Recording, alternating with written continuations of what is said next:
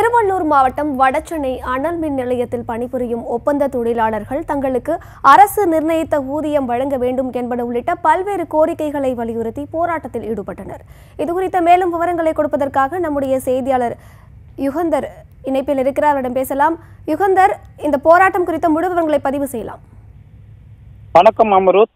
திருவள்ளூர் மாவட்டம் அத்திப்பட்டு புதுநகரில் உள்ள வடசென்னை அனல் மின் நிலையத்தில் ஐந்து அலகுகள் ஐந்து ஐந்து அலகுகள் மின் நிலைய நிலக்கரி எரிவூட்டி மொத்தம் ஆயிரத்தி எட்நூத்தி முப்பது மெகாவாட் மின்சாரம் உற்பத்தி செய்யப்பட்டு வருகிறது.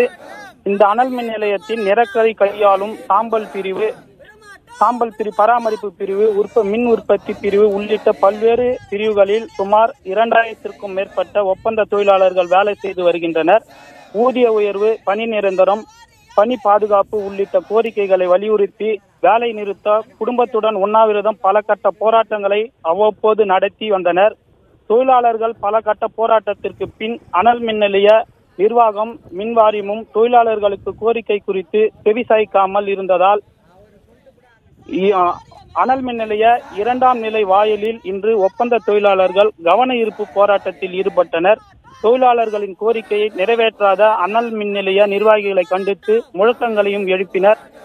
அனல் மின் நிலையத்தில் கடந்த பத்தாண்டுகளுக்கு மேலாக ஒப்பந்த அடி ஒப்பந்த அடிப்படை அடிப்படையில் பணியாற்றி வருபவர்களுக்கு தொழிலாளர்களுக்கு கூட எந்த எந்த அதிகாரமும் வழங்கப்படாமல் தினக்கூலியாகவே வகைப்படுத்துவதாக புகார் தெரிவித்தனர். நாள் ஒன்றுக்கு ஆறுநூறு ஆறுநூறு ரூபாய் வீதம் வழங்க வேண்டும் என்றும் அரசு விதி அரசு விதி பின்பற்றாமல் முன்னூறு ரூபாய் வரை மட்டுமே வழங்கப்படுவதாகவும் அரசு நிர்ணயித்த ஊதியத்தை வழங்க வேண்டும் என்ற கேட்டுக்கொண்டனர். ஒப்பந்த தொழிலாளர்கள் அடையாளப்படுத்த வேண்டும் வகையில் புகைப்படம் கூடிய அடையாள அட்டை வழங்க வேண்டும் எனவும் பண்டிகை காலங்களில் போனஸ் வழங்க வேண்டும் எனவும் பணி நேரத்தில் பாதுகாப்பு உபகரணங்கள் வழங்க வேண்டும் விபத்து காப்பீடு உள்ளிட்ட அடிப்படை வசதிகளை செய்து தர வேண்டும் என்று ஆர்ப்பாட்டத்தில் வலியுறுத்தப்பட்டது. அண்மையில் முதலமைச்சர் தனிப்பிரிவுக்கு மனு அளித்ததாகவும் எந்த நடவடிக்கையும் எடுக்கப்படவில்லை என்றும் தொழிலாளர்கள் வேதனையுடன் தெரிவித்தனர்.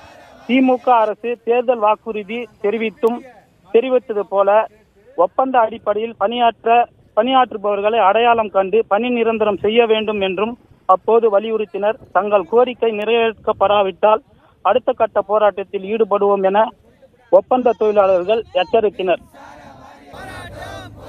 திருவள்ளூர் மாவட்டம் வடசென்னை அனல் மின் நிலையத்தில் பணிபுரியும் ஒப்பந்த தொழிலாளர்கள் பல்வேறு கோரிக்கைகளை வலியுறுத்தி போராட்டத்தில் ஈடுபட்டு வருகிறார்கள். இது குறித்த மேலும் விவரங்களை நம்முடைய செய்தியாளர் யுகந்தர் வழங்க கேட்டோம். விவரங்களுக்கு நன்றி.